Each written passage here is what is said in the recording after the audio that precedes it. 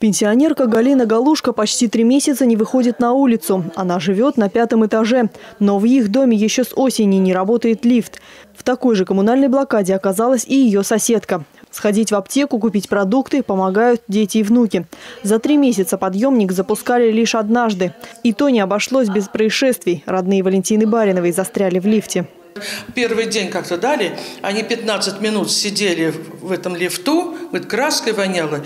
Как-то уже, я не знаю, как они вышли, кто-то там нажимал самый. Старый лифт прослужил 40 лет, срок эксплуатации давно истек. Люди опасались им пользоваться. Когда в управляющей компании предложили замену подъемника, согласились все без исключений. Ремонтные работы начались в середине ноября.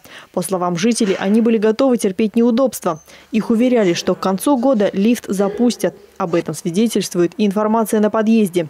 Я лично у рабочих спрашивала, как долго будет вот это все делаться.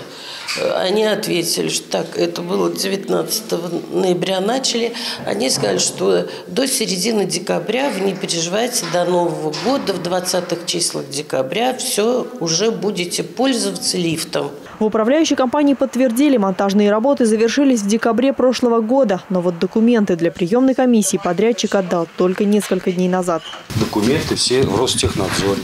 Как Ростехнадзор сегодня связывался, как они соизволят прийти к нам принять лифты, так это будет сразу пущено. Прямо в этот же день. Аналогичная ситуация и в соседнем доме. По словам специалистов, от монтажа до запуска обычно проходит около двух месяцев. Обычно вот именно на этом этапе, который для жителей не заметен, он бесшумный, в отличие от строительно-монтажных работ, у людей возникают вопросы, почему лифты не начинают работать. Но до того, как они начнут работать, обязательно проведение испытаний всех систем безопасности. Лифты на улице Салмышской уже проверены на безопасность.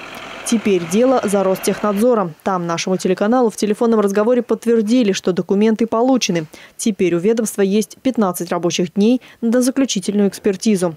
Только после этого подъемник заработает.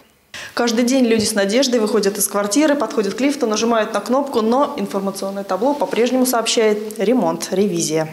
Ольга Энгель, Семен Воробьев. Новости дня.